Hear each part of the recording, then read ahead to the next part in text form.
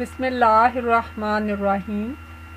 In the name of Allah, the most merciful, the most kind, connect to Allah because this line is never busy, always answered, no hang up, no heartbreak. How to connect with Allah? Allah took responsibility for who reads the Quran and acts on what is in it. He won't go astray in this life, nor despair in hereafter.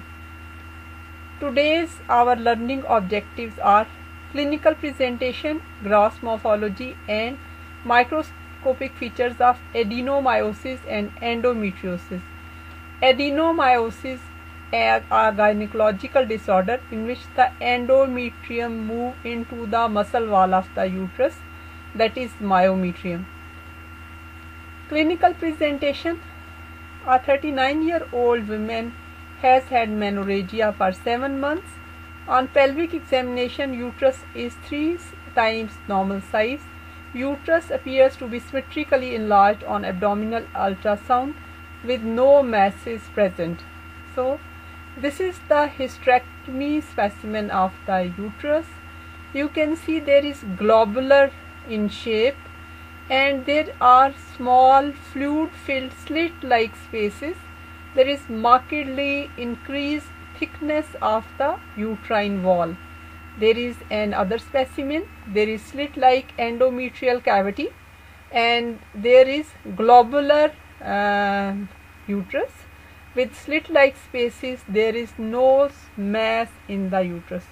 Now if the uterus is examined under microscope Normally uh, there is a um, irregular endometrium myometrial junction but in adenomyosis the endometrial glands are present deep in the myometrium at least 2 to 3 millimeter from the base of the endometrium that is basal layer.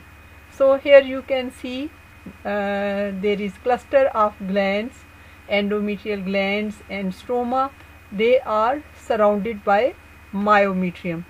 So we can summarize the microscopic features endometrial glands and stroma present deep in the myometrium away from the endomyometrium junction.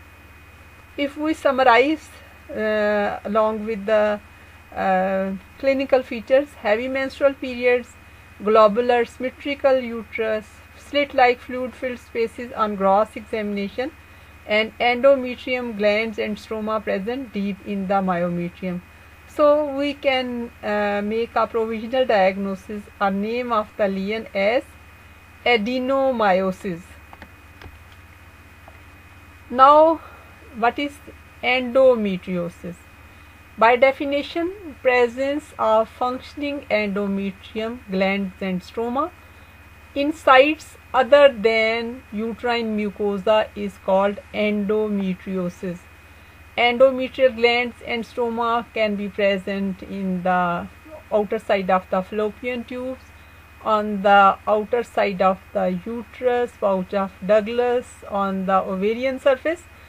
They cause, uh, they evoke inflammatory response and there are adhesions and uh, these uh, may cause dysmenorrhea and infertility. Now clinical presentation, a 36 year old woman pre presented with episodes of lower abdominal and pelvic pain for the past 10 years.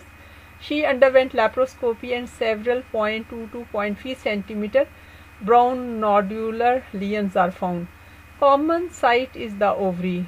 So there was a large uh, um, ovarian cyst uh, which was excised. And you can see it uh, filled with chocolate colored thick fluid.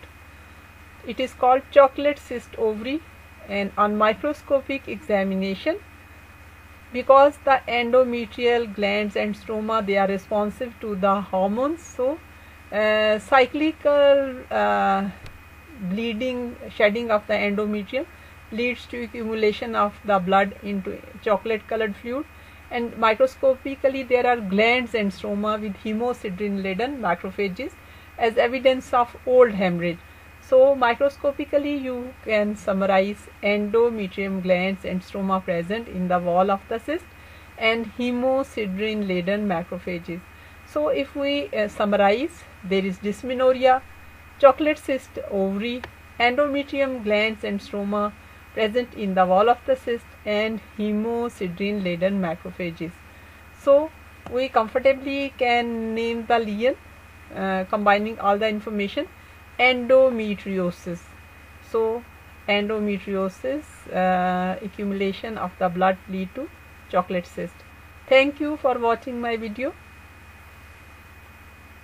Please subscribe the channel like and share this video